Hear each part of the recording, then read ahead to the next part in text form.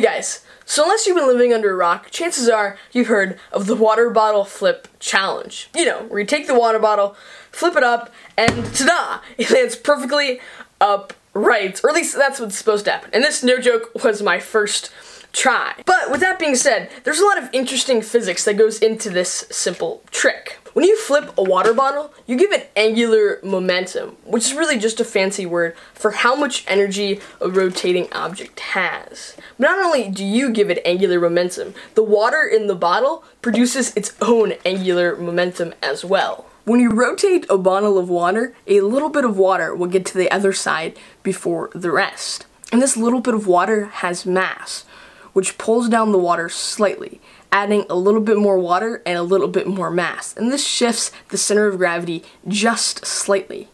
But that water has more mass, and that attracts more water and more water, and this shifts the center of gravity further and further until a majority of the water is on the other side and the center of gravity has completely shifted.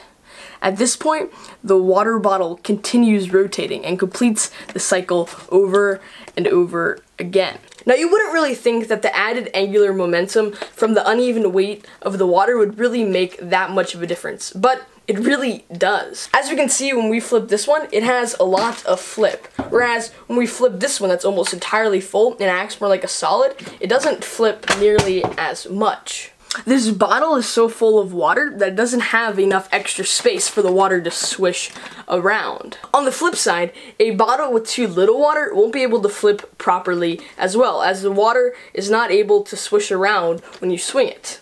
So that means that when you flip it, it'll just end up rotating around the heavy base.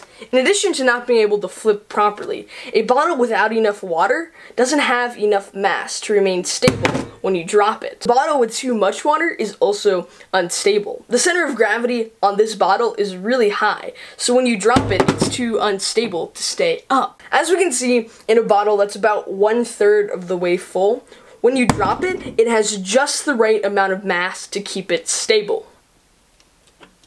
Now putting in enough water is the easy part, but the hard part is giving it just enough angular momentum and just enough arc so that just as this bottle is making one full rotation, the mass at the bottom overweighs that angular momentum and pulls it down. Thank you so much for watching. If you enjoyed watching this video as much as I enjoyed creating this video, then please leave a like or subscribe.